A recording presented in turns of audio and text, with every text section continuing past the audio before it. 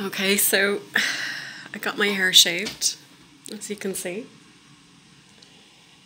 And the roots were grey.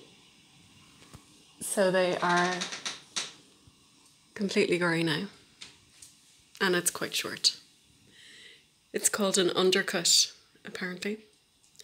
But you can see my, my roots are grey. Maybe an inch grey on top as well. Um, the green bits are I put a silver silver fox sterling color into my hair and it turned the ends of my hair which were blonde it turned that green.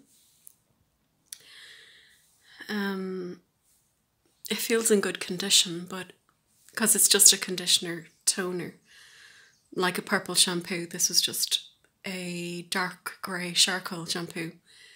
I just turned my hair green though when I washed it out. Um,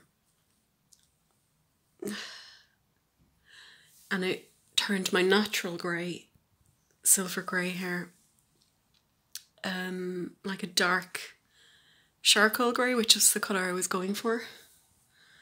Um, but as you can see, it just washes out.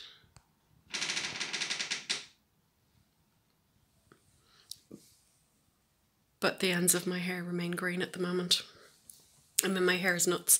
I just had a hat on because I went for a walk, so it's a bit stuck to my head and sweaty. But anyway, you get the picture.